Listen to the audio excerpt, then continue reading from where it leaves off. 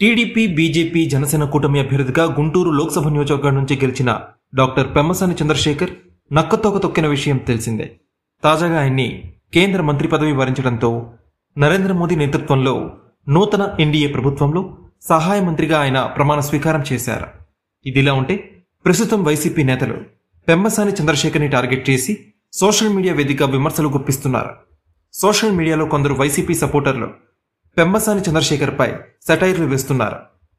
ఇరవై ఐదేళ్ళకు పైగా యుఎస్లో గడిపిన వ్యక్తి భారతదేశంలో గ్రామీణ అభివృద్ధి కోసం పనిచేస్తాడట పెమ్మసానికి గ్రామీణ వాతావరణం ఏం తెలుసని వైసీపీ నేతలు ప్రశ్నిస్తున్నారు.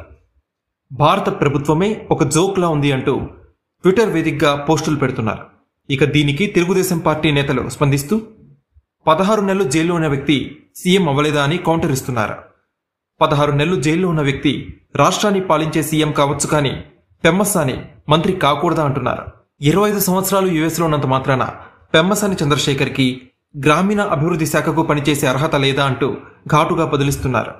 ఏది ఏమైనా ప్రస్తుతం రాష్ట్రంలో మొదటిసారి పోటీ చేసి గెలుపొంది కేంద్ర మంత్రిగా అవకాశం దక్కించుకున్న పెమ్మసాని చంద్రశేఖర్ ఇప్పుడు హాట్ టాపిక్గా మారారు.